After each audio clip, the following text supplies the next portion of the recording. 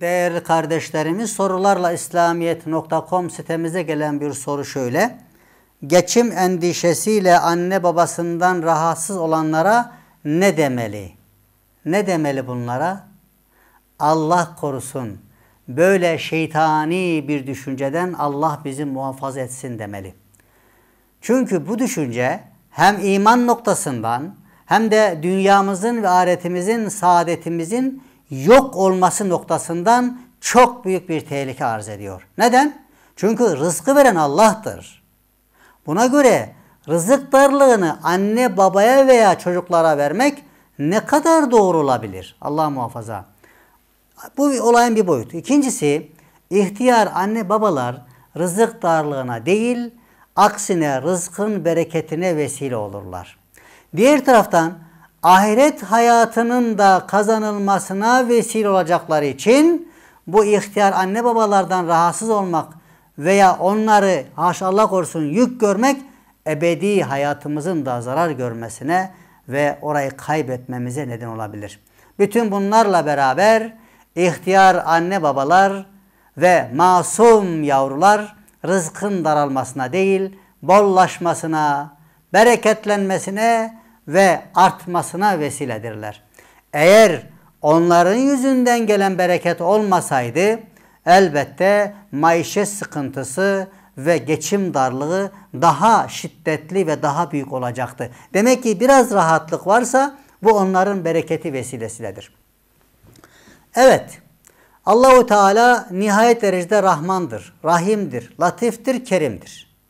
Bu özelliklere sahip olan Rabbimiz çocukları dünyaya gönderdiği vakit hemen arkalarından rızıklarını gayet latif ve güzel bir surette annelerinin memelerinin musluğundan gönderiyor. Hiç kimseye yük yapmıyor ve onların ağızlarına saf olarak akıtıyor. Peki çocuk hükmünde olan, belki çocuklardan daha çok şefkate ve merhamete muhtaç olan ihtiyar anne babalar rızıklarını bereket suretinde Allah göndermez mi? Ve bunların ihtiyaçlarını tamahkar ve cimri insanların üzerine yükler mi? Haşa. Demek ki annelerinde, babalarında onlara bakmakla mükellef ve sorumlu olan evlatlarının da rızıklarını veren Allah'tır. Öyleyse hiç kimse anne babasının haşa yanında bulunmasından dolayı rızkında bir darlık ya da geçiminde bir sıkıntı olduğu zannına kapılmasın. Çok büyük bir tehlike altına girer. Şimdi bununla ilgili iki ayeti kerimeyi okuyarak meallerini anlamaya çalışalım. Bir, İnna Allah ve razzaku zul kuvvetil metin. Şüphesiz ki rızkı veren, mutlak kudret ve kuvvet sahibi olan ancak Allah'tır. Bu bir ayet. E, Zariyat suresi 58. ayet. Bir diğer ayet. Ve kâyin min dâbbe. Yeryüzünde yürüyen, la tahmilu rızkaha ve rızkını yüklenemeyen her şeyin, her canlının rızkını kim veriyor? Allahu yarzukuha ve iyyakum. Onların da sizin de rızkını veren Allah'tır. Bu da Ankebut suresi 60. ayet.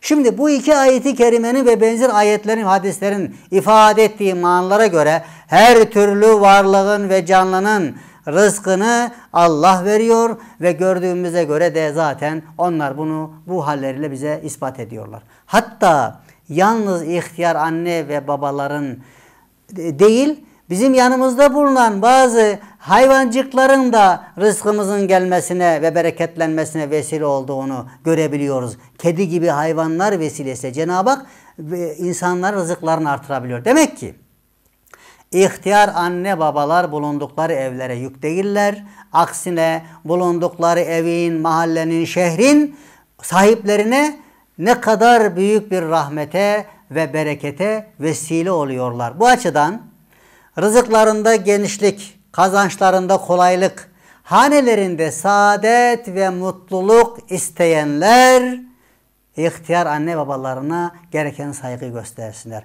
Bu nimetlerden mahrum kalmamak için ihtiyar anne baba konusunda ne kadar hassas ve dikkatli olsak o kadar nimet olacaktır.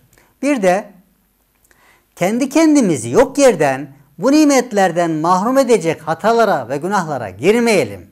Kendi elimizle dünyamızı ve ahiretimizi berbat etmeyelim.